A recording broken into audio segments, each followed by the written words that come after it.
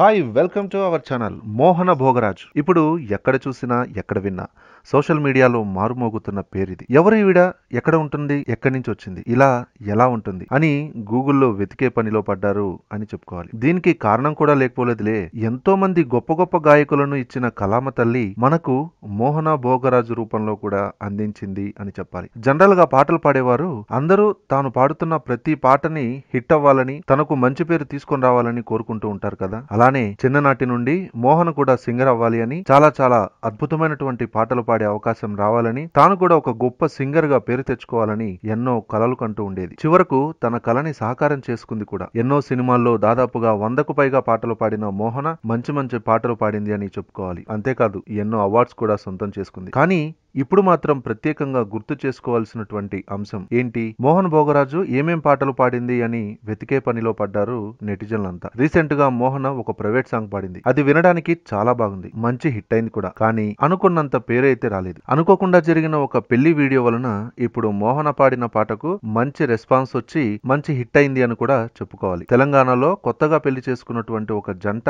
వాళ్ళు చేసినటువంటి రచ్చ అంతా ఇంత కాదు. పెళ్ళి అయ్యాక బరాత్ జరిగే సమయంలో పెళ్ళి కూతురు తన భర్తకు సర్ప్రైజ్ ఇవ్వాలని బుల్లెట్ బండెక్కి వచ్చేస్తాను అని మోహన భోగరాజు పాడిన పాటని తనదైన శైలిలో స్టెప్పులు వేస్తూ యావత్ తెలుగు ప్రేక్షకులకు మంచి ఊపుని తీసుకుని వచ్చింది. ఇంకేముంది? ఇక అందరూ చూడడం మొదలు పెట్టేశారు అలా మొత్తానికి మోహన భోగరాజు చేసినటువంటి private song super duper hit అయింది అవ్వడమే కాదు తాను చేసిన మిగతా పాటలు కూడా చూడడం మొదలు పెట్టేశారు అని మనం గట్టిగా చెప్పుకోవాలి. ఇక మోహన ఆంధ్రప్రదేశ్లోని ఏలూరులో జన్మించారు. అలాగే హైదరాబాద్లో పెరగడం జరిగింది. ఆమె భోగ్రెడ్డి ఇంజనీరింగ్ కాలేజ్ నుండి బ్యాచిలర్ డిగ్రీ అలాగే హైదరాబాద్ ఉస్మానియా యూనివర్సిటీ నుండి ఎంబీఏ పూర్తి చేశారు. చిన్ననాటి నుండి మోహనకు సంగీతం పట్ల ఎంతో ఇష్టం ఉండేది చిన్న వయసులోనే పాఠశాలలు అలాగే రవీంద్ర భారతి త్యాగరాజ సభ ఇలా అనేక ఆడిటోరియంలలో జరిగిన పోటీల్లో పాల్గొనడం కూడా జరిగింది. మోహన తన ఆరు సంవత్సరాల వయసు నుంచి పాడటం ప్రారంభించింది. ఆమె ప్రతిభను గుర్తించిన మొదటి వ్యక్తి ఎవరు అంటే ఆమె తల్లి అని మనం చెప్పుకోవాలి. ఆమె తల్లి మోహనను అనేక ప్రదేశాలలో జరిగేటువంటి పాటల పోటీలకు తీసుకుని వెళ్తూ ఉండటం వల్ల మోహన సంగీతంలో ఒక మంచి స్థాయిలో ఉండడానికి ఒక కారణమని కూడా చెప్పొచ్చు. మోహన గొప్ప ప్రతిభను కలిగి ఉన్నప్పటికీ పోటీల ఫలితాలు కొంచెం నిరాశాజనకంగానే ఉండేవి. కానీ ఆమె ఎప్పుడూ కూడా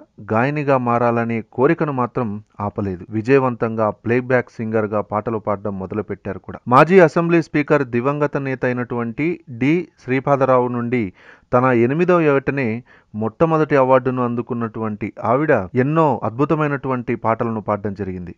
రెండు వేల పదమూడులో మోహన తన కెరీర్ను ప్రారంభించింది. దివంగత హీరో ఉదయ్ కిరణ్ నటించినటువంటి జై శ్రీరామ్ సినిమాలో ఆమె తన మొదటి పాటను పాడడం జరిగింది. ఆ తర్వాత ఎన్నో సూపర్ డూపర్ సినిమాలకు పాటలు పాడించింది కూడా. బాహుబలి ద బిగినింగ్ తెలుగులో వచ్చినటువంటి మనోహరి పాటను పాడింది ఈవిడ. ఇక ఆ సినిమా హిట్ అవ్వడం అందులో ఆ పాట సూపర్ డూపర్ హిట్ అవ్వడం మనందరికీ తెలిసింది. ఇక అప్పటి నుంచి ఆమె కెరీర్ ఇంకా వెనుదిరిగి చూడలేదు. ఇక ఆ తర్వాత భలే భలే మొగాడువై అని చెప్పని సినిమాలో టైటిల్ సాంగ్ పాడింది మోహన. అలాగే అఖిల్ అని చెప్పని అఖిల్ హీరోగా చేసినటువంటి తెలుగు సినిమాలో అక్కినేని అక్కినేని అనే సాంగ్ కూడా పాడడం జరిగింది. ఇక ఆ తర్వాత నాగార్జున హీరోగా నటించినటువంటి సోగ్గాడే చిన్ని నాయన సినిమాలో డిక్క డిక్క డుమ్ డుమ్ అనే పాట పాడింది కూడా మోహన భోగరాజే. ఆ తర్వాత కళ్యాణ్ రామ్ హీరోగా నటించినటువంటి ఇజంలో కన్నులు నావైనా అని చెప్పనే సాంగ్. ఆ తర్వాత శతమానం భవతి సినిమాలో మెల్లగా తెల్లారిందో అని చెప్పని సూపర్ డూపర్ హిట్ పాట పాడింది కూడా మోహననే అని చెప్పుకోవాలి. ఇక అంతేకాకుండా ఓం నమో వెంకటేశాయ బాహు బాహుబలి టు మహానటి అరవింద సమేత వీరరాఘవ